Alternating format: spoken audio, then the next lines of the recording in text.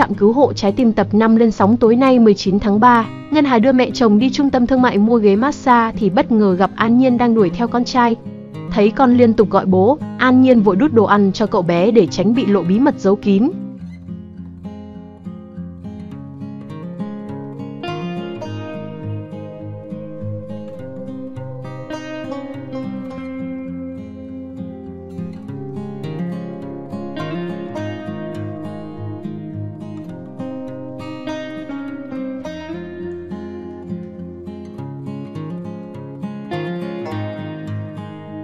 An Nhiên lấy lý do đưa con trai đi khám răng để không phải tiếp chuyện Hà trong khi cô không mảy may nghi ngờ thái độ bất thường của bác sĩ tâm lý. Thấy An Nhiên đi khỏi, Nghĩa trốn sau giá quần áo mới lộ diện khiến cả bà Sinh và Hà đều bất ngờ. Lâu lâu phải làm cái đuôi cho vợ con bất ngờ mẹ, Nghĩa giải thích.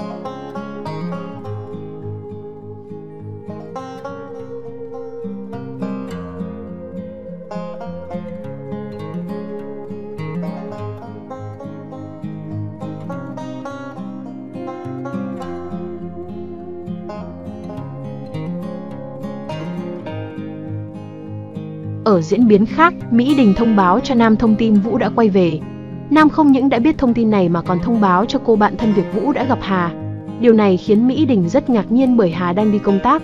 Chị Hà gặp anh Vũ ở chỗ công tác, tôi mới điện thoại cho anh Vũ xong, nghe nói là gặp nhau trên đó. Nam kể. Mỹ Đình ghé sát mặt Nam hỏi, ông Vũ định làm gì trên đó, ông ấy tính đập chậu cướp hoa hả? Nam trả lời, bà tính làm gì tôi,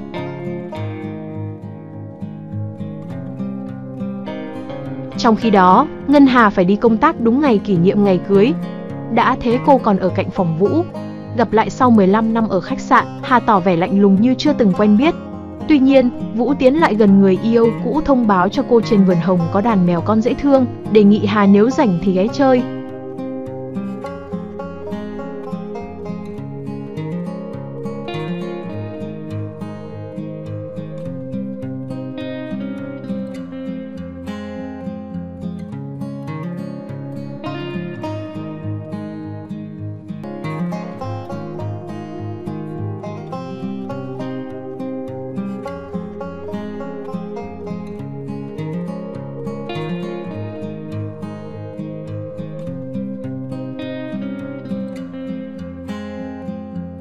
Liệu con trai của An Nhiên cũng chính là con trai của Nghĩa?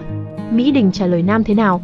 Diễn biến chi tiết trạm cứu hộ trái tim tập 5 lên sóng VTV3 vào 21 giờ 40 phút tối nay. Mời các bạn chú ý đón xem.